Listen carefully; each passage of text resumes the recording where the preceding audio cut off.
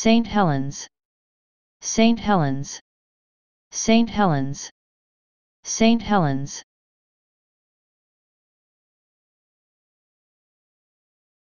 Please subscribe and thanks for watching.